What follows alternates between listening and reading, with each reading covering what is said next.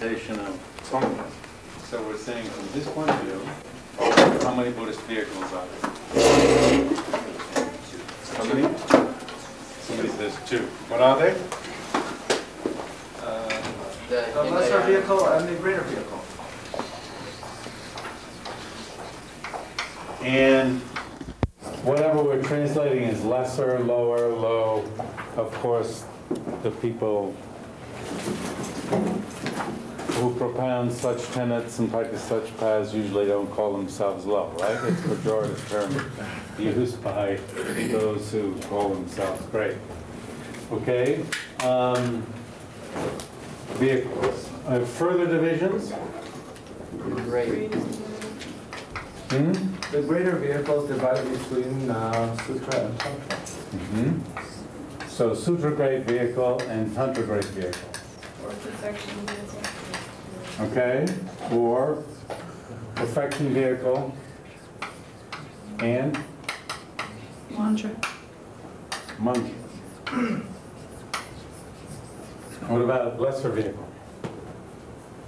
Solitary mm-hmm. realizers and No, Buddhist. Shravaka Pratyeka Buddhas. Solitary realizers, And here's. and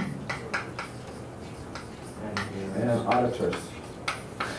Oh, these guys are back here. and hearers. So hearer, we'll say, since we're talking about vehicle, okay? So if you say that there are two vehicles, it's obvious which of the two you choose. If you say, if the terminology three vehicles is used, uh, which uh, three are the standard ones? I mean, terminology is used in standard ways. here solitary vehicle, solitary realizer, and then the bodhisattva. Right. Or great vehicle, Or great vehicle, right? Now, what is the Sanskrit word for vehicle? Yana. What? Vahana. Yana. God, this, this guy's got some twisted sense of humor. Uh, Yana. Uh, and it's built from what verbal root? Yam. Yeah, Yam. Ya, to go. And what is the na? means, Means of going. Means of going, therefore, right? When you put it together?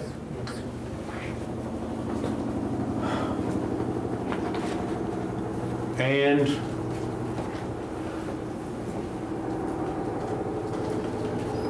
what are the two ways of looking at the meaning of means of going, a vehicle? It's the means to get someplace. That's the goal. Yes. So yana is both the goal, it's very unusual to call the means of going the goal. And otherwise, it's the path. Path? Oh, You gotta be careful.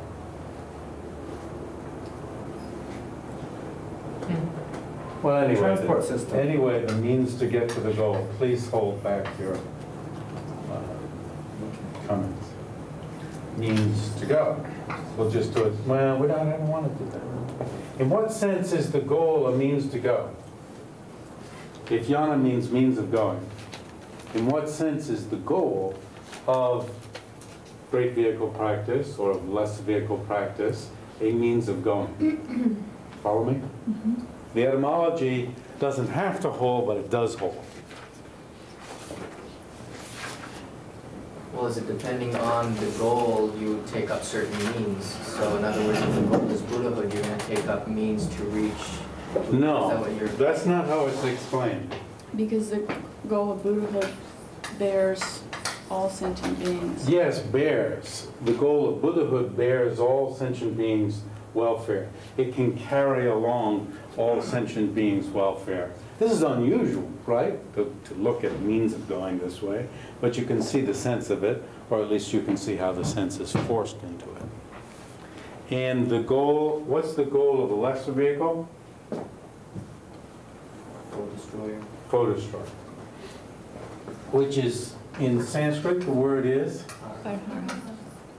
Which is arhan, or arhat, or arhunt. Now, the term foe destroyer comes from ari, hun. Hun to kill, ari, enemy. And in order to get this meaning, you, there has to be an I infix.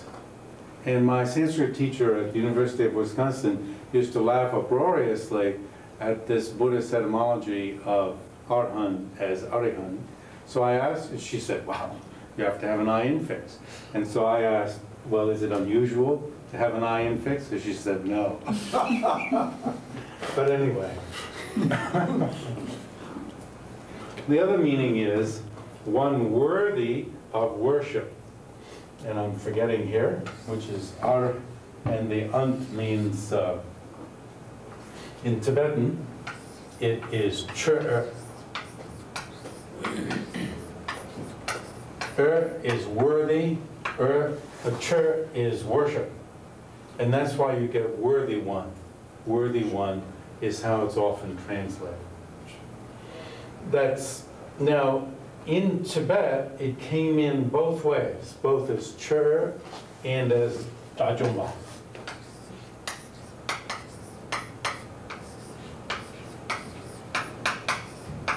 And you can see Ari Han from the Tibetan. So the translators into Tibetan chose the uh, etymology as Arihant to be predominant, even though they knew both etymologies, okay? Conscious choice. And then, of course, you end up using foe destroyer in places where it would have been more uh, easy to understand what was going on in the Sanskrit text if they chose worthy one, worthy of worship. But once they would seal in on a term, they, they'd often just do it the same way. Yes? Um, in your, your Tsongkhapa, in your text, when you're using the lesser vehicle, are you referring to all of the lesser vehicles? Because No. sometimes you specifically mention Theravada, and I was wondering how, where's that distinction? Okay. So, we've got it, I'll get to that.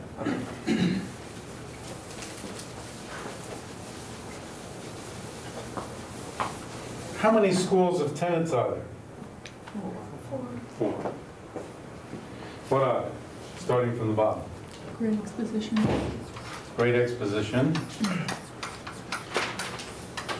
Sutra, Sutra School, Chittamatra, Mind. Mind Only, Which is awesome. And? and, uh, Hmm? Uh, middle. Middle way. By the way. And what are the two divisions? These are divided into two groups? I mean, which two fall into which two? Yeah. The mind only and Madhyamaka fall into Mahayana. Great vehicle. And Sutra and Great Exposition fall into? Less, less. Is this great vehicle and this great vehicle the same? No, Why? It's a basic question. Very basic question. Yes. Because um, to be a follower of the great vehicle, um, you have to have the altruistic motivation, but you can still hold on to tenets of the great uh, exposition of sutras. Yes, yes. So this is division, this division is by way of philosophical tenet. Whereas this is, this is uh, primarily a division by way of motivation.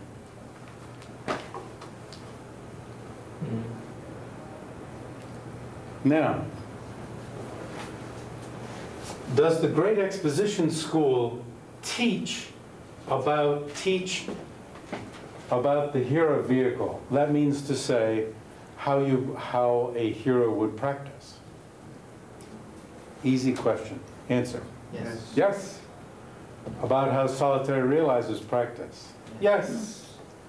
What about how bodhisattvas uh, practice? the, uh, let's, uh, let's, let, I'll just, I won't point. How bodhisattvas practice. Yes. Tell me. Yes, yes. Anyone want to say no? Are you Oh, saying yes, that I- Hinayana schools, Yes, and. Hinayana schools teach about how bodhisattvas practice? Yes, and- Yes. Yes and no? Why no? Um, yes, well, first I'll say yes, because it's represented in the, the stories of the Buddha. That the Yes. Buddha was a bodhisattva, but Yes! they, but yet they don't um, prescribe this as being the only that people should strive for. Well, the- the others don't say it's the only, only one one should strive for either. So the answer is yes. Okay? You see? They tell the story of how Shakyamuni Buddha uh, practiced the Bodhisattva path. Therefore, they set out a Bodhisattva path. Even the Hinayana schools set out a Bodhisattva path. And they call Shakyamuni a Bodhisattva. He was the great Bodhisattva of this era, and forget about it, the rest of you can't swing it. You know, the best you can do is Arhat. But there will be somebody, you know, there'll be people who do take on the Bodhisattva path now, and way in the future will become a Buddha of an era, but, you know, forget about it. It's not going to be you. Eh, You know, I mean, that's the tenor of the system. So they do teach a Bodhisattva path.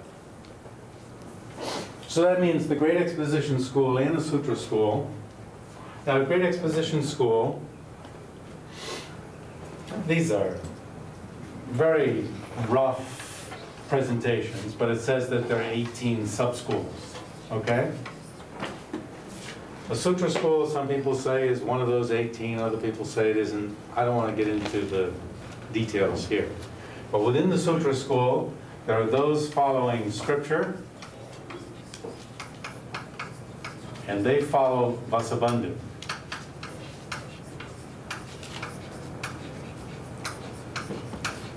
And those following logic, and they follow Dignaga Dharmakirti.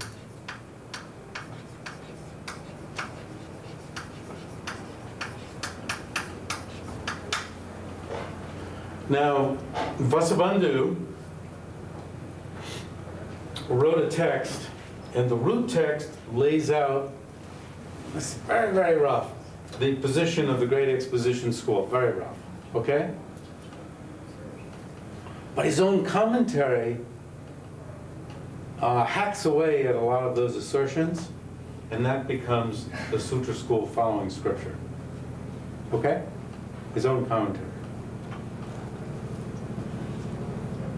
He uses unsuitable endings and so forth to indicate that he really doesn't believe such tenets. And then in his commentary, he makes it clear.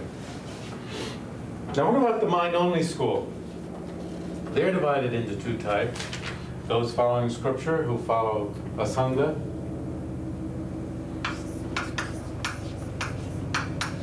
And those following logic who fo- again follow Dignaga and Dharmakirti. Posit no external world. Do they set forth a path for lesser vehicle practitioners, hearers and solitary realizers? Do they? Do they tell you what hearers and solitary realizers practice? Yes. Do they tell you how bodhisattvas practice? Yes. So the same with the middle way, right? Middle way school, which is divided in Tibet into an autonomy school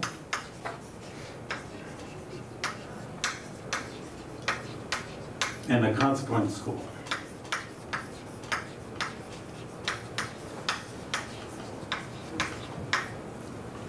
I say in Tibet because even though there were debates among these people in India, they didn't say we're in this school, the others are in that school. These names were made up into Tibet and were retroactively applied to India. Sometimes European American scholars pick it up and, as if as if these were in India. Now, what from what so these people also set forth how lesser vehicle practitioners uh, practice and how great vehicle practitioners practice. Now, Tsongkhapa, where do you place him? What is his own allegiance? Consequence. Consequence school. Who's the big wig for the autonomy school?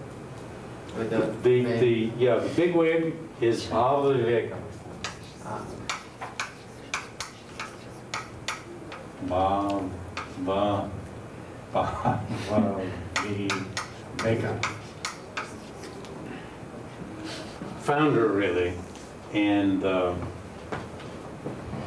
others. Shantarakshita. Shantarakshita and his student Kamalashila founded, so to speak, another subdivision within the autonomy school. Shantarakshita came to Tibet and was so important in Tibet in the 8th century.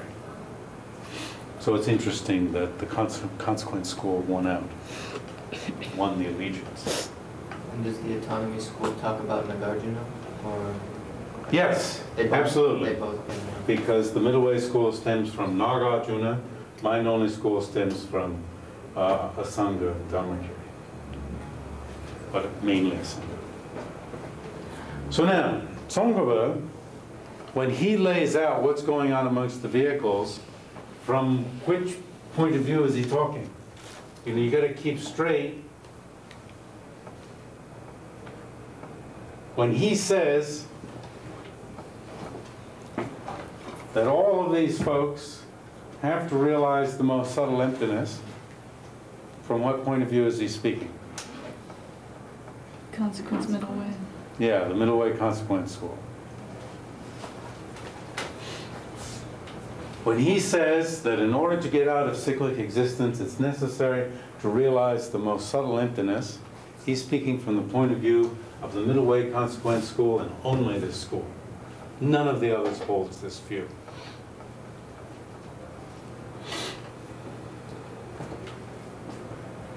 So when the term, because, so then from what point of view are the middle way school, the mind only school called great vehicle?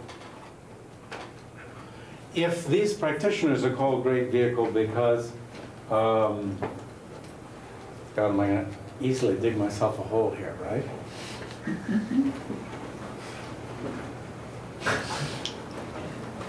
Uh, because of seeking uh, highest enlightenment primarily for the sake of other beings. Okay? Then from what point of view are these two schools called great vehicle?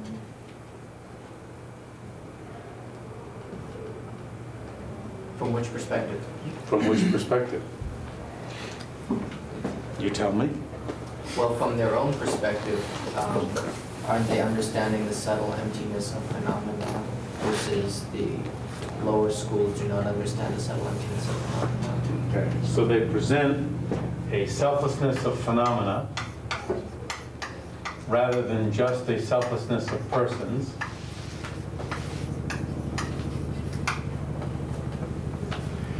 Through the realization of, that's not sufficient. Uh, They present a substance of phenomena and not just substance of persons, and they present a path for overcoming the obstructions to omniscience.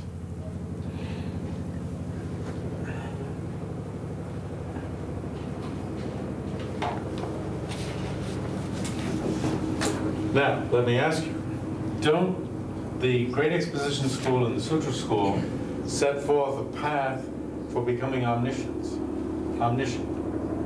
You yourself already said that they set forth a, in describing how Shakyamuni Buddha became enlightened, they set forth a path for achieving great enlightenment.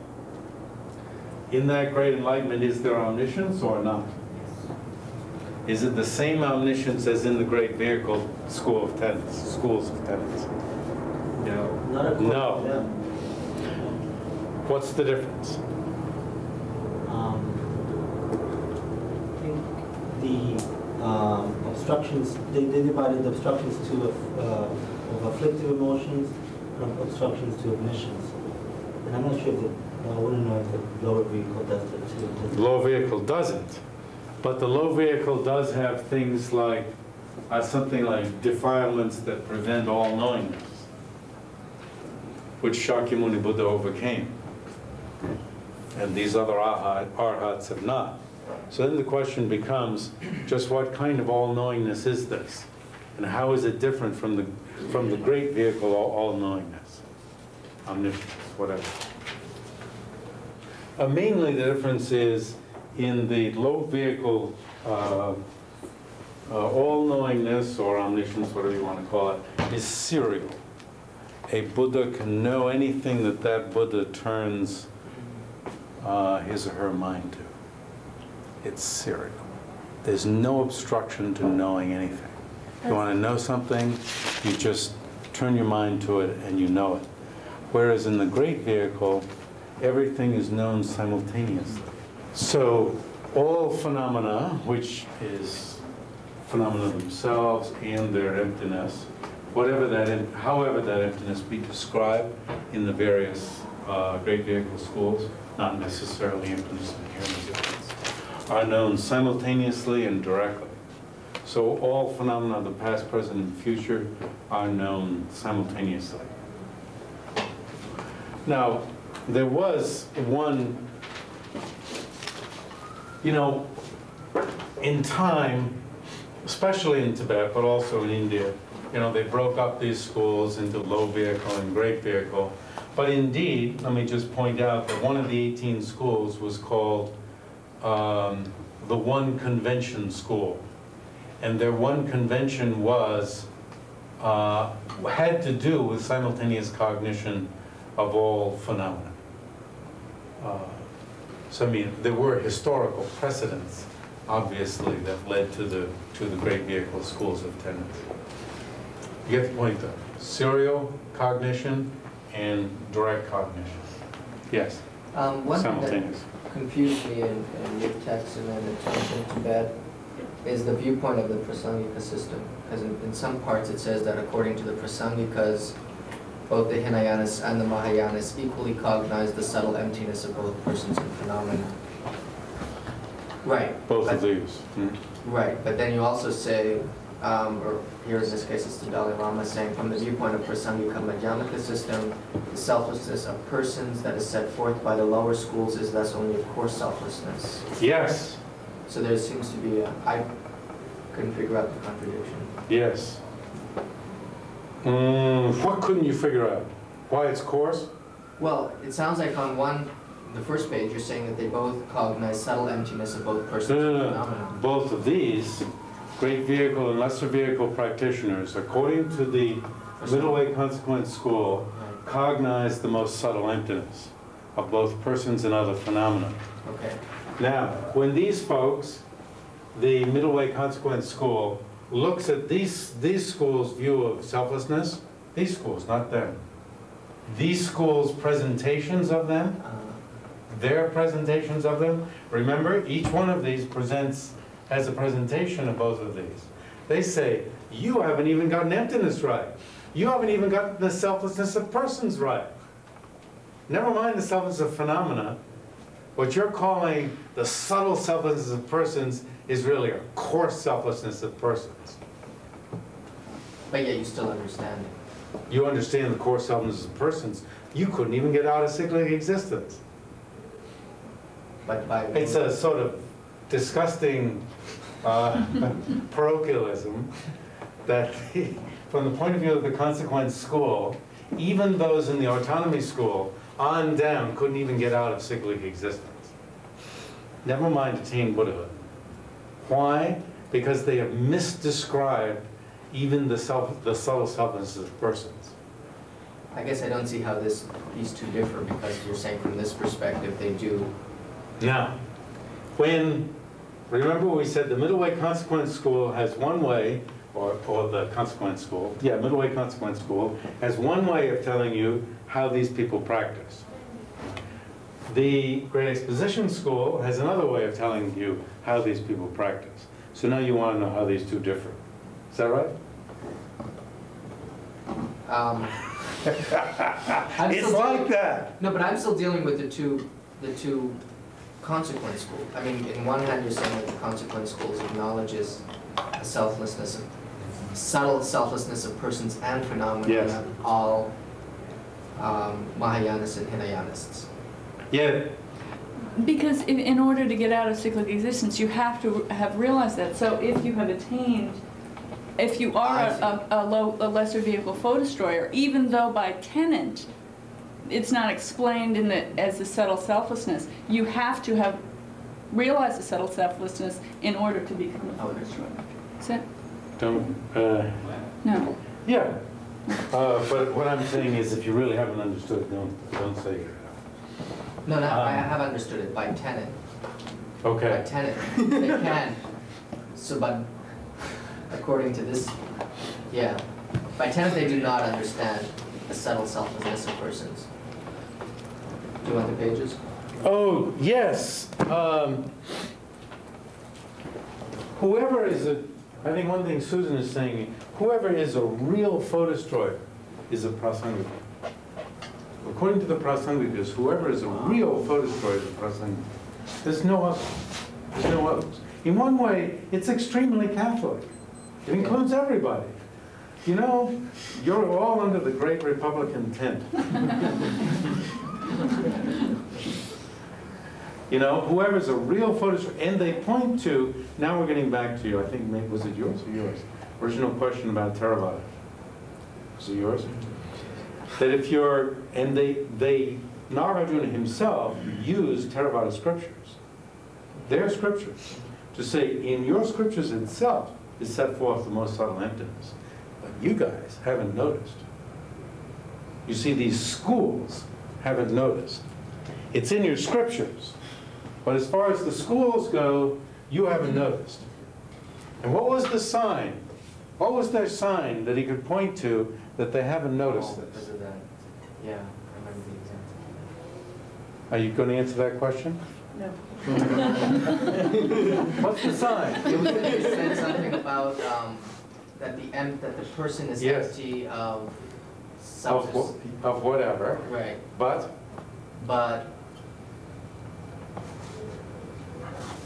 they used person, I mean, it- that, that was. it's the person is empty of whatever, substantial existence, inherent, whatever you want to call it. But the aggregates are not. Right, mm-hmm. That indicates a different status for the person and other phenomena, which from Nagarjuna's point of view, means they have not understood the subtle selflessness of the person. Because the dictum is, if you understand the subtle selflessness with respect to anything, when you turn your mind to that other, any other object, you will understand it. As long as you're within the functioning of that former consciousness, you know, you haven't gone to sleep or getting, gotten drunk or been distracted. That's what it means, within the functioning of the former consciousness. And it's really a telling point. This, this, it's like, no matter how Catholic I may want to be, and boil everybody down to saying the same thing, you know, uh, when you look at that assertion, that the person has one status and the aggregates have another status, uh, you can't help but say, well, Nagarjuna is saying something different, or at least some of his take on it. But yet the scriptures still talk about a subtle. But the scriptures themselves, These are the commentaries. that the, that uh, the so-called Hinayana scriptures themselves speak about such a subtle, subtle emptiness. So, that's how Nagarjuna and so forth can say whoever is a, a true arhat is a consequentialist. And so they're, they're willing to accept that all these great persons were arhats.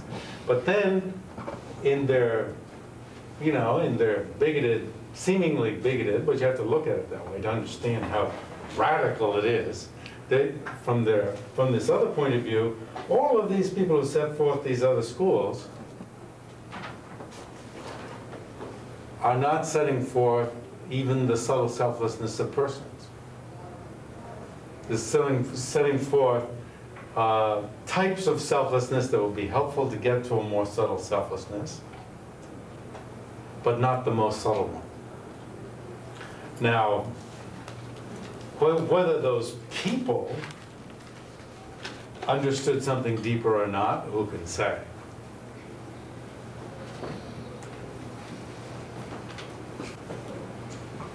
Now. Yes. When you were mentioning, I mean, like, were you including mind only in the? Yes, even in the autonomous school. They don't even have a means for getting out of cyclic existence. Isn't it pathetic? Now, isn't there in Tantra in Tibet a little chart in the rear that sets forth this thing about schools? Uh, Is there such a thing? Yes. 174.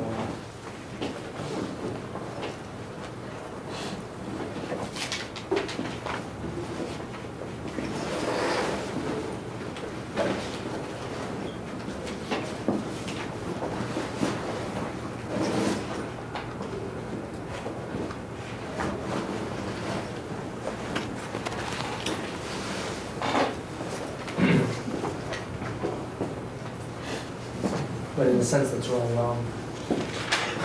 In the sense that there's no effect for everything below Prasangika. I mean, you're showing that there are these Buddhism things. I mean, if you're really Oh. Vaibhashika. Yeah, if you say that foe destroyer means real foe destroyer, Right. they're setting forth a path that they claim will yield the fruit of foe destroyer. That the real fruit. The real one, according to Sangha is could only uh, be with the consequent school.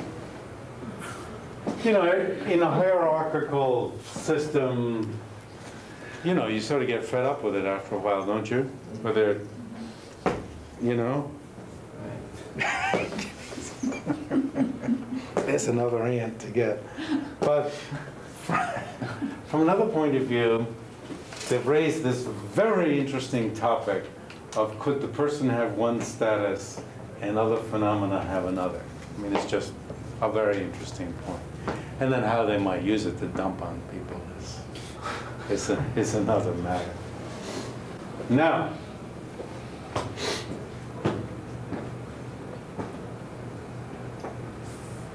So if you want to look into the difference between lesser vehicle and great vehicle, usually you don't talk about the difference between the hero vehicle and the solitary realizer vehicle. It's- There's some discussion of it. Uh, Obviously, solitary realizers, uh, actually, I have a, it's like personality type. They, they tend to be loners. And at least in that, in the last lifetime, when they achieve the level of foe destroyer, they want to be alone. And they don't want to talk with people. And if they do teach people, they do it through signs. If you go to India, you know, you see this is wholly within the scope of what's going on in India. Until I went to India, I thought, oh, this is going too far. Um, as, I've got, I've got a nice little, uh, should have thrown that in there. anyway, I didn't. Anyway, maybe I'll bring it in next time and, and uh, read off some of the personality traits that go with heroes and solitary advisors. So you want to decide what the difference is between lesser vehicle and great vehicle. Where do you have to look? According to Tsongkhapa, you have to look at. Excuse me? According you have to look at method and not wisdom. Now, yeah, but don't jump too fast. Go slower. Go a step back. You have to look at the two meanings of vehicle. Oh, It has to be within one of the two. One of the two meanings, one or one or, or both of the meanings of vehicle. As the goal to which it progresses and as the means by which one gets to that goal, right? It is a very methodical analysis. Now, is the goal of the, of, are the goals of lesser vehicle practitioners and of great vehicle practitioners different? Yes or no? Yes. Yes. What's the goal of lesser vehicle practitioner? And of uh, great vehicle practitioner? Are they different? Yes, they're very different. According to Prasangika school, the latter has overcome the obstructions to omniscience. Right? vastly different. So the two vehicles differ in terms of the goal. And therefore, they must differ with respect to the means of going. Now, if you're going to look at the means of going, how do you look at it? You look at salient features of the means of going. What are the salient features of the means of God? Altruistic intention is one of the big differences. But Wisdom and method. what are the great wisdom and Method. method? You see, as Chandrakirti says, these are the two wings of the bird flying to enlightenment.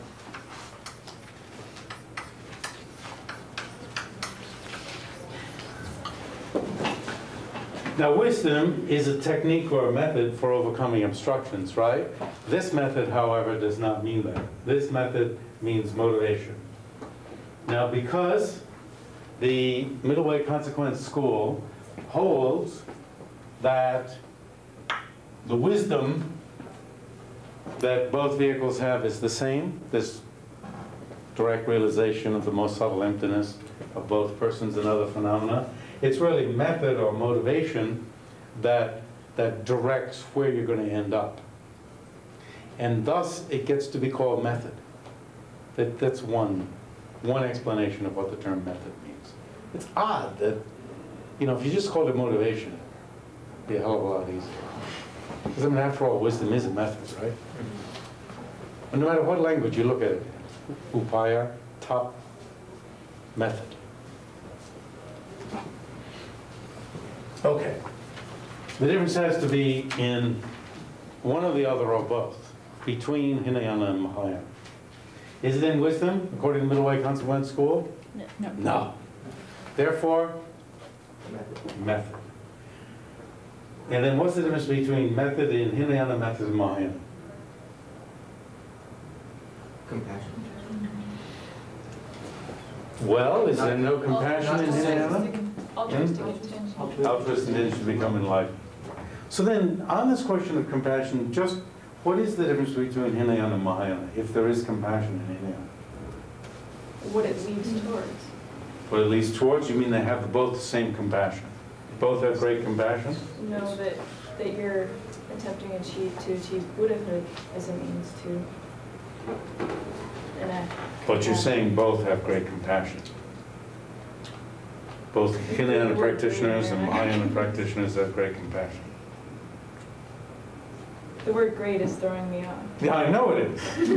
Deliberately thrown in there. Thrown to throw. I would say that they both have compassion, but I don't know what the word great.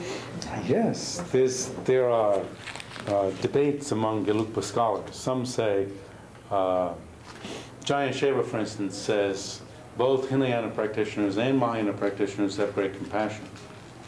Mahayana practitioners have special great. Other authors of textbooks say there's a difference between compassion and great compassion. The difference lies in the willingness to take upon to oneself the burden, you know, thinking, I will free everyone from suffering the cause of suffering. That's the step that's different. Did you describe that as where it is placed on the Mahayana, it's placed, compassion is first, whereas in the Hinayana schools, it comes up after, it's one of the results of following along the path. In other words, I want to get out of cyclical existence, and in doing so, I do get this compassion and I help other beings, whereas in Mahayana, it starts with compassion. I thought you said, mentioned that. I don't think so, but it is important in the beginning, middle, and end, right?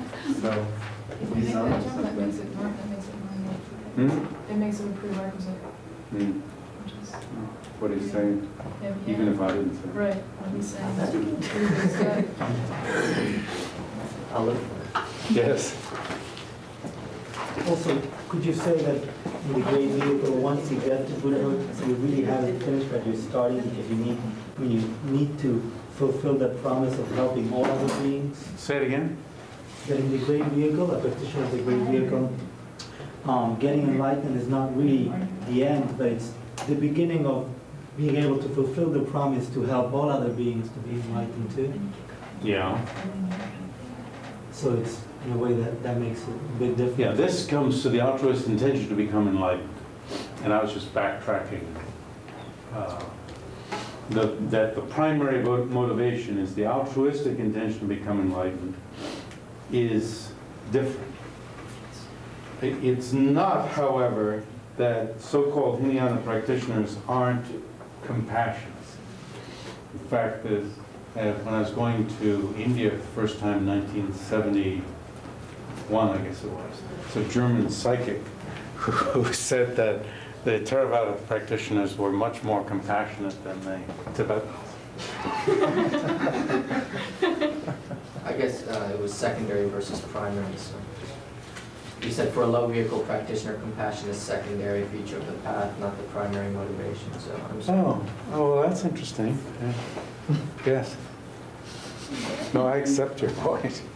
So what's the main, I'm still kind of confused about what the difference, just this will help me clarify it. Like, what's the difference between a foe destroyer and someone who is a Buddha? A Buddha has overcome the obstructions to omniscience, and the foe destroyer has just overcome the, Obstructions preventing liberation from cyclic existence. okay. So no longer has the ignorance that will assent to this false appearance of phenomena as if they inherently exist, and therefore won't have any of the afflictive emotions. But there's a whole lot of past karma, energy, that's tied up by way of the karmas deposited by past ignorant deeds that prevents realization of everything. And a bodhisattva is primarily seeking to help others, and thus primarily wants to. Uh, why does a bodhisattva want omniscience? Others better, How can you? How? Why would you help others better? you can see back and forward and prescribe a certain path for them, knowing where they, where they're. Yeah, it's put out in two groups, and you've said both of them. You know other people's predispositions backwards and forwards, so to speak, and you know all possible techniques. It's not that you want to know the kind of bugs in the world, or, you know? But that you want to know these two things, and, in, of course, how to put them together. So, the difference in method is that bodhisattvas, the bodhisattva type, well, one way Jamyang Shayba puts it is, also, is that bodhisattvas, when they cultivate compassion, are more enthusiastic about considering the various types of sentient beings. Individually considering this being, that being, this type, that type. And then going on and uh, being willing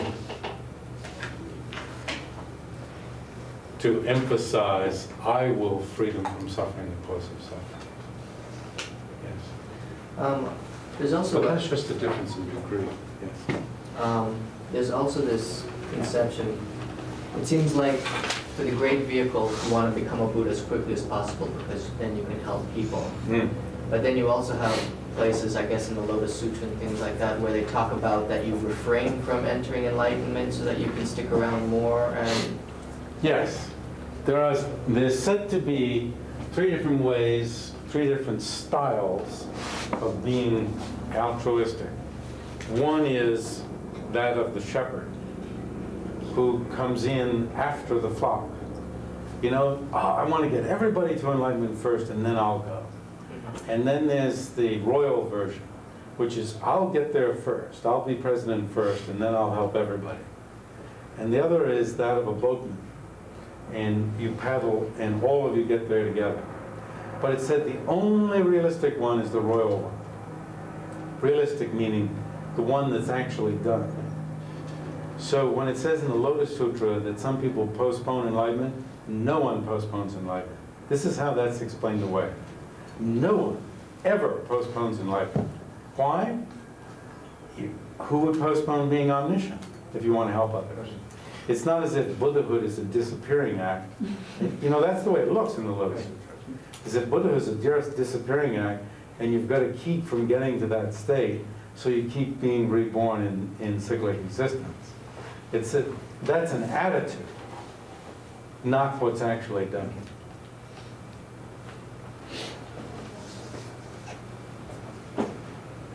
You sort of wonder, I mean, that neatly explains that whole thing away. Yeah, it also neatly explains a large corpus of the Mahayana Sutras. Oh, yeah. Yeah. And, Explains uh, and so, do- does Tsongkhapa wish to uh, um, sever from the Prasangika view uh, a large corpus of Mahayana Sutra material? Not at all, you merely interpret it so that it fits. Oh.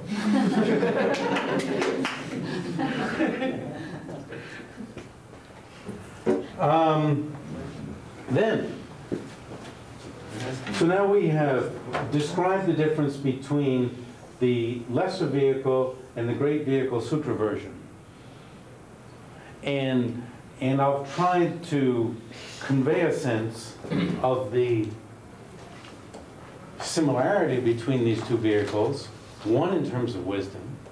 Or what is the difference between the wisdom? There is some difference between the wisdom of the sutra perfection great vehicle and the lesser vehicle. What's the difference? The Sutra Perfection, Yes? can I just barge in, Yes? has um, come about its understanding from more directions. Yes, using a myriad of reasons, whereas lesser vehicle practitioners tend to use only a few. One, two, three. What's very interesting is in Tibet, although they talk about this, they tend to only use one or two reasonings. So it's interesting, you know, you look at this, ah, we're a great vehicle and all this, and you look at how they actually do it. It's like, Well, it's more better, more reasons better. Well, you see, great vehicle people are supposed to be really smart and uh, really sharp. And if you, yes, if you use more reasoning, the mind, it says, becomes more open to emptiness. Becomes more open to it. So Nagarjuna has a text of 27 chapters. Within each chapter, there are multiple forms. For instance, in the second chapter, there've got to be at least five different sets of reasonings. At least five. T.R.V. Murti says that Nagarjuna goes on ad nauseum. So you see, it's like his mind began breaking up and falling apart. I, you know, I just can't stand this anymore. Whereas supposedly, the Bodhisattva type enthusiastically, oh, wow, another reasoning, you know? And, and it, it unlocks something in the Bodhisattva's mind. Whereas the duller type of person has to stick with one thing. Now, you've done that, where you've, where you've tried to do some other thing, mm-hmm. and it fractures you such that you can't even do the first thing. Right. So why does Tsongkhapa only make this, this distinction between uh, Tantra and Sutra? Not Tantra. I mean, uh, the deity yoga, why is he reducing to deity yoga then in, I'm sorry, I jumped a little bit. You did jump. Wow. Talk about being fractured. Cleavage went. We could, we don't have to talk about that. Yeah, well, we'll jump to it. Well, soon.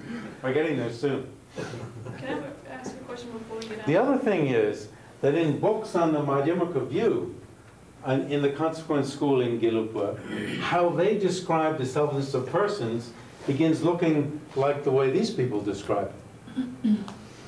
This non-consequentialist version that won't even get you out of cyclic existence. They do it in a very rough way. Yes?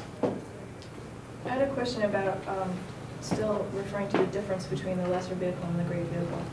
Um, How do you distinguish between the obstructions to liberation and the obstructions to omniscience? What's the relationship of emptiness to that? Now, the obstructions to liberation are comprised by the ignorance that conceives or that assents to the appearance of persons and other phenomena as existing in their own right. Persons and other phenomena. So the conception of a self of persons, conception of self of phenomena are both obstructions to uh, liberation. So what are the obstructions to omniscience? It's that appearance of inherent existence itself, that there's a blackboard that covers from here to here. This appearance of inherent existence itself is the main obstruction to omniscience. As one of my teachers said, he was sitting on his bed, and he said it's like this. When you, when your mind sees this, it can't see what's behind it. There's a way that this appears that prevents what's seeing everything behind it. So the way things appear to us is, you know, if you talk about it in a gross way, they're overly solid, such that seeing one thing blocks seeing the complexity of what's there and, you know, and of what's four million miles away also, or, or one foot away, or four inches away, or, or a centimeter away. Now that false appearance, it, it's described as like a magician who has, we talked about this earlier in the semester, right? The, did we? No. A magician who has cast a, a spell, right? Didn't we? Yes. Yes, it's where you didn't laugh, as I remember. I told you the mantra and no one laughed at all. TV, TV, TV, TV, TV, right? Take something like this, and apparently some sort of salve is put on it, that they talk about sticks, pebbles, and, and uh, twigs. Some sort of salve is put on it, and then the mantra is cast, TV, TV, TV, TV, TV, TV, TV, and it affects everybody's eye consciousness. And we see, usually they say horses and elephants, because people want beasts of burden, you know? I would say food, or, Charity says a banquet at some point, or a beautiful partner for sex. Wow. And, uh, and I, as, you as the audience who don't know that this has been done to you, just think it exists there. I, as the magician, still see it but don't believe in it. That's like the arhat, foe destroyer. You've overcome the ignorance, but it still appears in its false aspect. A Buddha is like somebody who came in late, who didn't get any mantra at all, and just sees a piece of paper, and so doesn't enter into thought about, you know, going home with the person. So that's, the obstructions to omniscience are the false appearance of phenomena. Then why wouldn't there be still some type of difference between these two vehicles in terms of the wisdom side of things? What, because these people use a myriad, myriad reasons? Both are realizing, both practitioners of lesser vehicle and of the perfection vehicle are realizing the most subtle emptiness. Both.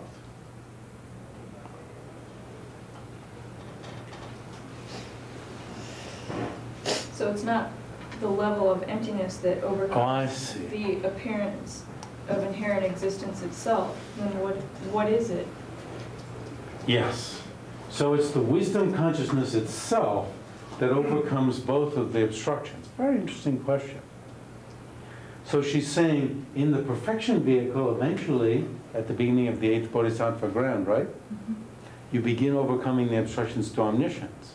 So why don't you say that that wisdom consciousness is different then? Well, it has been enhanced by method. That's its difference. That's where it gets its difference. But it's a good point. It is different at that point, due to the enhancement by a compassionate method. When I look around, I feel somehow lost. Are you lost? Just stop me. Because we can unravel if you if there are steps that are being missed. Well, Just stop me. I just want to make sure I Yes. have it straight and maybe that, um, so at the eighth bodhisattva ground, that's actually where you're starting to get the difference because method and wisdom become, there's a union, and that's when the obstructions to omniscience um, are overcome. or Well, you've been, beginning prac- to be yeah, you've been practicing method all along. And uh, once you have overcome the obstructions to liberation, that the force of the wisdom consciousness is enhanced, yes, so it can overcome the obstructions to omniscience. Why, I don't know. You know, how it works. It's a fascinating thing to think about. Why does compassion, why does love, why do these altruistic deeds make the wisdom consciousness power, more powerful? And if they do, why have they not been doing so all along, making it more powerful to overcome the innate? Well, I think it, I think it probably has. If you think about, if it's due to our own karmas that these things appear in wrong aspect, it's due to a bifurcatory, to bifurcatory types of thoughts, hatreds, anger, even right desire, desiring this thing that is over there. Whereas love, compassion, altruism are, are not bi- bifurcatory, at least in that sense. There may be an object of compassion and so forth, but it, it's certainly not the off-putting of hatred, enmity, jealousy, that whole, the hatred side of things. In terms of the lust side of things, I don't know.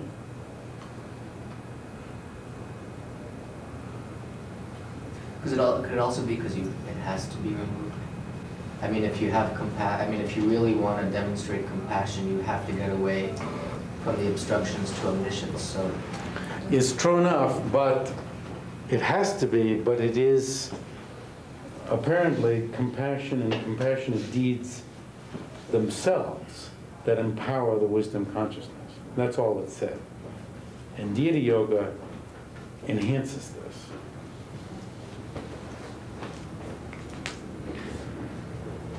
So, we've got the wisdom being pretty much the same, in the two vehicles.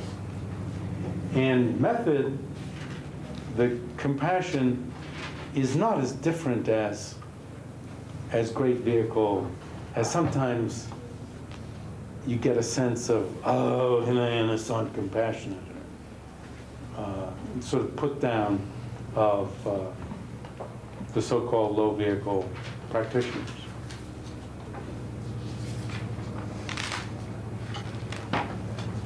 But there is a level of compassion, altruism that is different. And that's what distinguishes these two vehicles.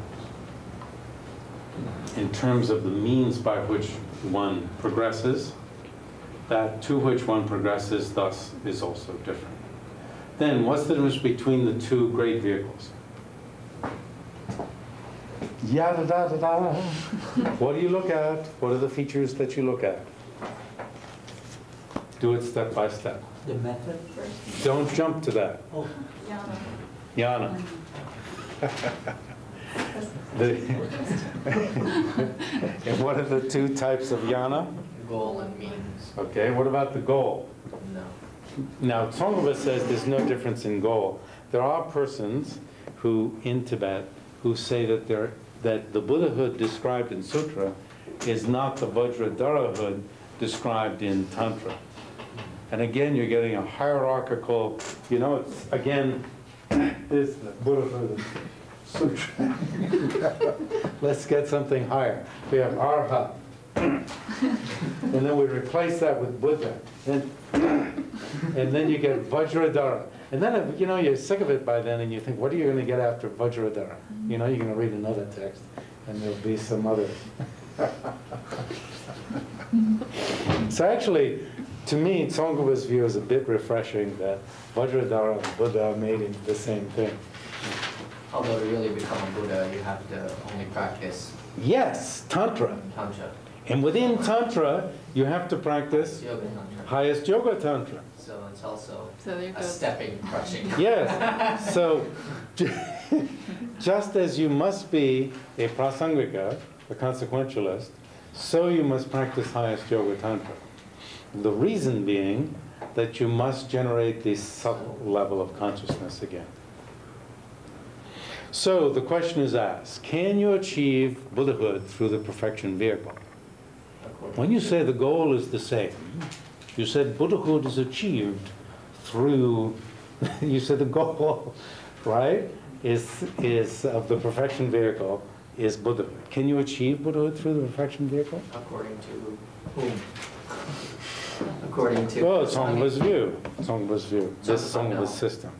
But the answer they usually say is yes, but not only through. I cut it, you gotta cut it somewhere. But they don't wanna say this disgusting thing of you can't achieve it through it, so they say you can, but it's not only through it. Parchin kyangbe luki, sangya minuba. Hmm.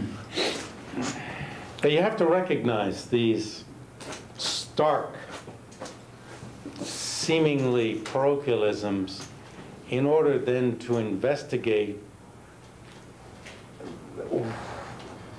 uh, this issue of the fundamental innate mind of clear light.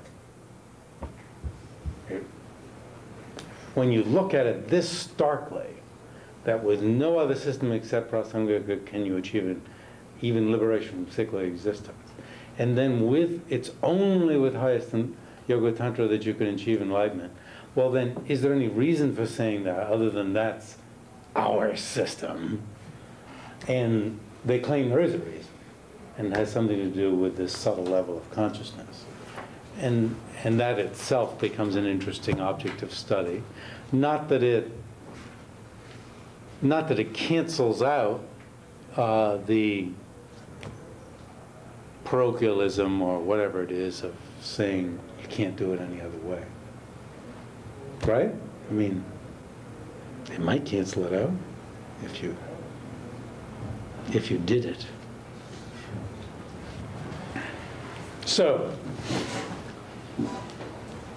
uh, as I remember, Longchenpa says there is a difference between the Buddhahood of Sutra and of Tantra. Not quite sure, but I I read that in my own, in the Tsongkhapa piece that was assigned for today. Uh, Daktsang Lotar, the famous Sakya scholar, says there's a difference between the two. Um, Jamyang Shayba says because Jamyang Shayba is around 1700, um, the Buddhahood, Buddha in sutra is described as not having any winds, prana. Then this has to be the same as the Buddha of highest yoga tantra.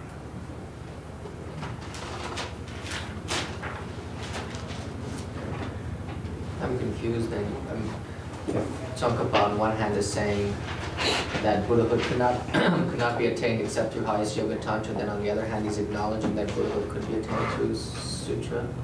Yes, it can be attained through sutra, but not attained only through sutra. But on the other hand, you could only be attained through highest yoga tantra. Through adding, you have to add highest yoga tantra to the sutra practice. You can start with sutra and then. Oh, I see what he's doing, okay. Yes, yes. But you can't do the highest yoga tantra without sutra, isn't that right? Right, you cannot, but you can early on switch over. But the whole foundation of highest yoga tantra is method and wisdom. Right. Method is this altruistic intention to become enlightened, best explanation of which is in sutra. The wisdom, best explanation is in sutra. But very early on, one could switch Switch from, sutra to tantra. right, but you can't do the tantra without the sutra. Isn't that what our charts? Yeah, I mean, tantra without sutra. That's a very complex question. Like in this lifetime or over the course of lifetimes, people who can achieve Buddhahood in one lifetime are people who have a lot of good karma from the past, right? But that doesn't mean they've reached the path of accumulation or preparation in the past. Doesn't necessarily mean that. Doesn't mean that. Because then you'd have to say you're not achieving Buddhahood in one lifetime. So, anyway, let's finish. So, according to Tsongkhapa anyway, there's no difference in yana as the goal. So then it has to be in the path. Within the path, the difference must lie either in method, wisdom and method, or as it says here, method and wisdom. Since you do it backwards, what about wisdom? Um, should be the same. Mm, That's what he says. Wisdom is the same, even as in the low vehicle. Even if in the highest Yoga Tantra there are special levels of consciousness that realize emptiness,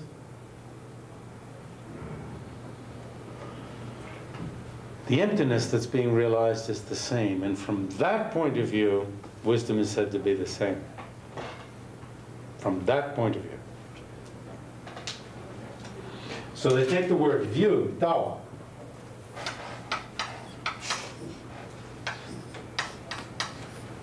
and look at it two ways.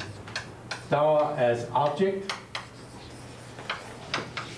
and view as object and view as subject. View as object is the same. The object is emptiness. Whoop.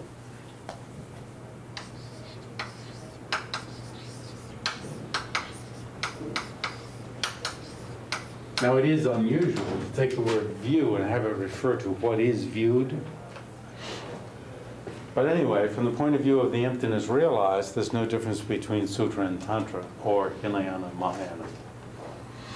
Therefore, wisdom is the, makes the conclusion of wisdom being the same, despite whatever differences there are in highest Yoga Tantra with respect to the level of consciousness that realizes that emptiness. Now, what about method? Yes. What's, what are the two prime divisions of method? Fruit and No. Motivation and the deeds induced by that motivation. Motivation and the deeds induced by the motivation. Now, what about the motivation? Is that the same in, in Tantra as in the perfection vehicle? Yes or no? In great people, yes. Yes. Perfection vehicle means great vehicle. What about the deeds induced by the wisdom? In the perfection great vehicle, what are the deeds induced by the altruistic motivation? the. Yes, the six perfections, or at least, at, I mean, it gets a little weird when you're getting perfection of wisdom in there, but usually all six are thrown in this. In Tantra, do you practice the six perfections? Yes. Yes. So with respect to the deeds, sorry, the motivation and the deeds induced by the motivation, he wants to point out there is no difference. Then, where do you find the difference?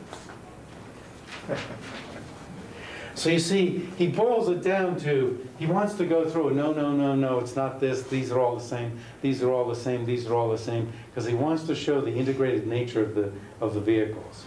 What is different is deity yoga, which he puts in the class of method, because it's the appearance, altruistic appearance of the wisdom consciousness in form. So it's like a, not even in the main level of method is there a difference. It's in a sort of additional practice of method that Tantra comes to be different. The main divisions of method are the motivation and the deeds induced by it. And they, and they don't differ. Perfection vehicle and Tantra don't differ. So this branch, I mean, if we wanna, In, in terms of charting it, you don't chart it. You don't. It's, you don't draw another, a line off of here. He just says, well, what Tantra has is an additional method. But couldn't you actually, I mean, non-traditionally draw it off with deeds in the sense that it's the way the deeds are induced by motivation? In other words, the deeds. Makes some sense to me. And it's also how, how you, do- I mean, because one of the things you're doing in Deity Yoga is Combine. combine the two and practicing co- compassionate deeds. So it's not just that, you know, I hand you a 20, in actual, you know, happy to do it, but, you know, it's the, it's the imagining of the, yes? I'm not getting a good eyebrow movement. So uh, that's it. So for next time, what should we do next time? We need to redo this material.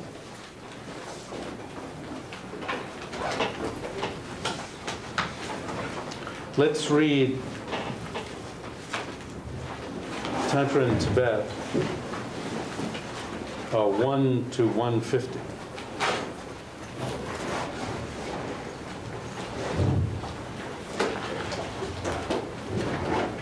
That make sense? One one? To 150? Did you get to ask your question that you started to ask a half hour ago?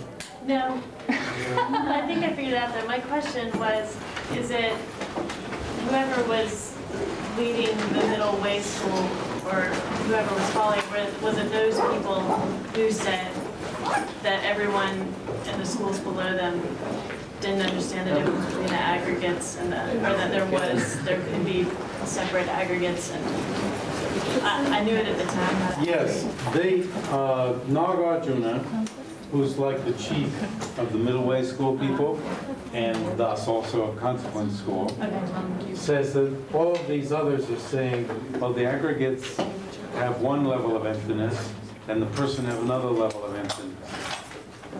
Sorry, I they didn't. I didn't quite say it right.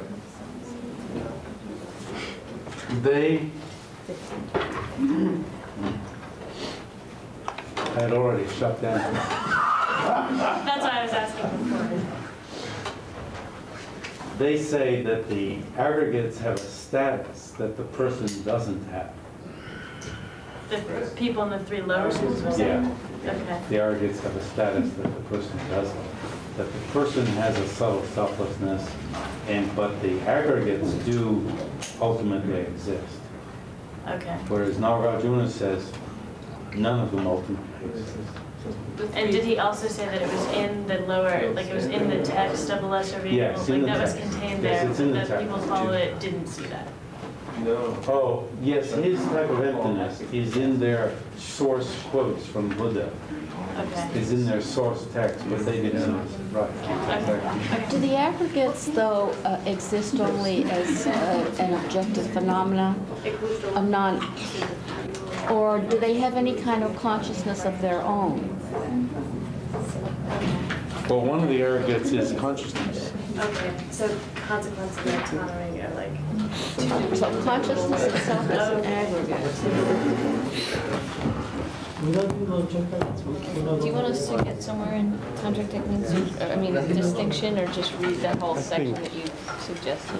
Yeah, 150 pages is enough. He said, uh,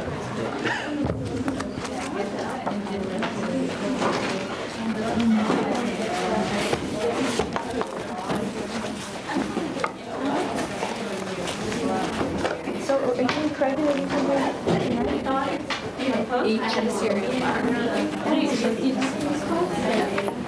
Call me later.